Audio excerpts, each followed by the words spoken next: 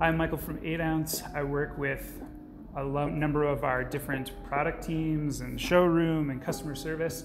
And I'm really excited to be here today to talk to you about some of the manual espresso makers we've got at 8 Ounce Coffee.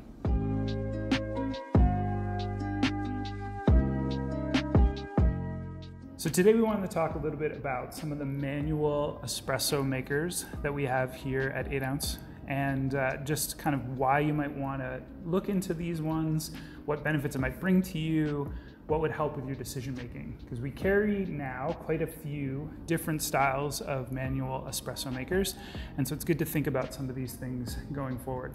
And really, I didn't do this on purpose, but it's kind of the way they've fallen on the table. We have kind of two major categories.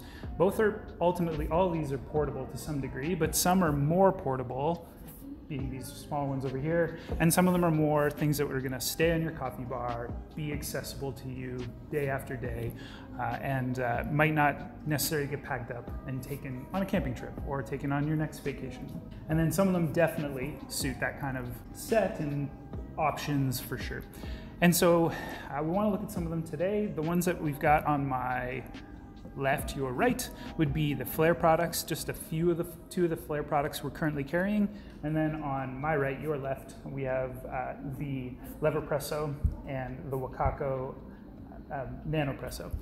And so like I said, some of the ones that we're looking at uh, on the right here, they're more designed to be highly portable.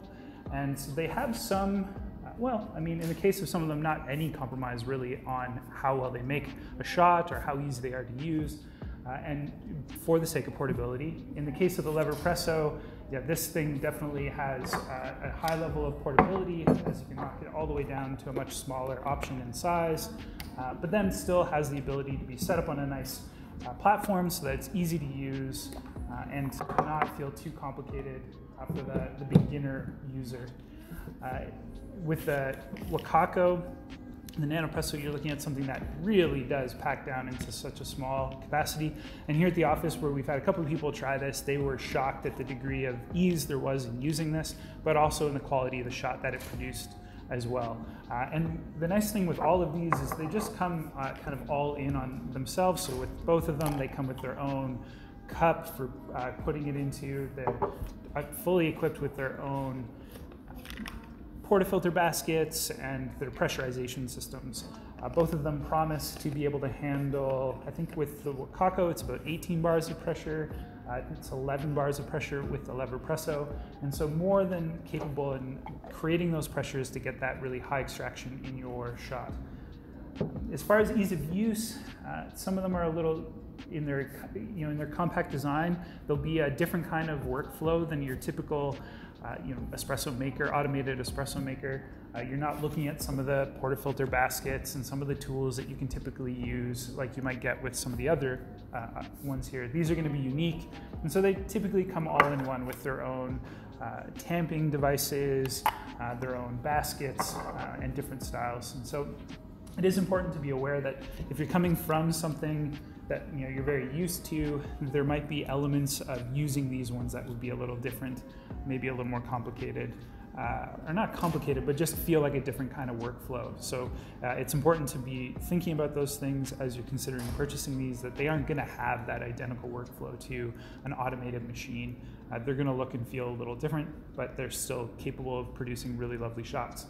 In my experience with these, I found that the um, the Nanopresso was a little easier to use all the way around and the results were a little more consistent. And so certainly if you're looking for something that is portable, uh, this is gonna be a great option. I can totally see myself in the backcountry, maybe not the backcountry, there's a bit of weight to this.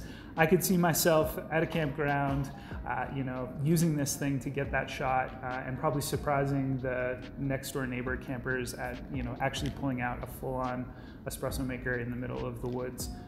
And maybe if it was like a short trip, you could actually see myself getting this into the backcountry uh, as an option over, um, you know, maybe just having instant coffee or some very sludgy uh, French press. So these are great options to consider. They're also really entry level in their cost points, uh, as certainly considering against a fully automated machine as well.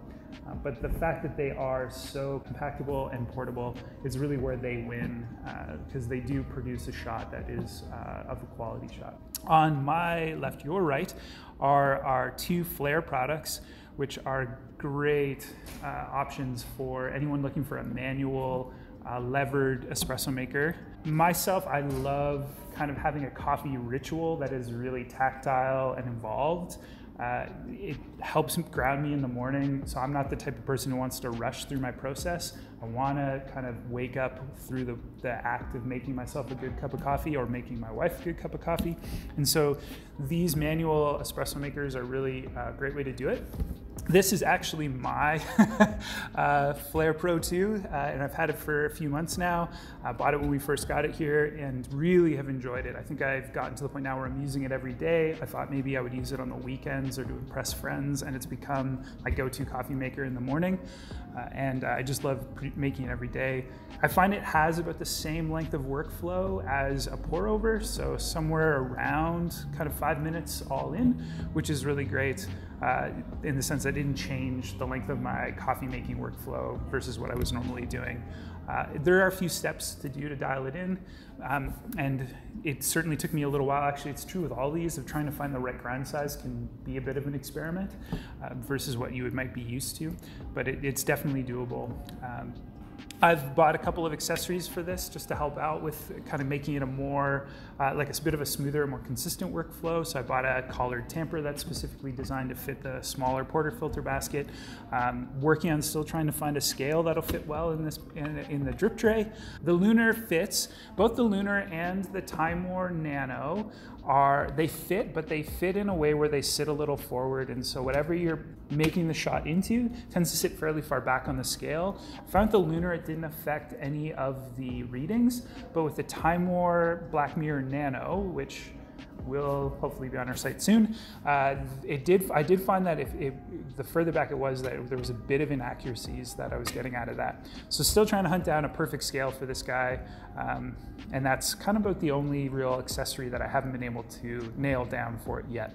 Uh, so just kind of going off of feel and off of uh, some volumetric, kind of going into a measuring cup uh, right now to get the right volumes. But really enjoy it all and find that I'm getting shots that, you know, friends of mine are coming by who I want to impress and they're impressed by the shots that I'm getting out of it.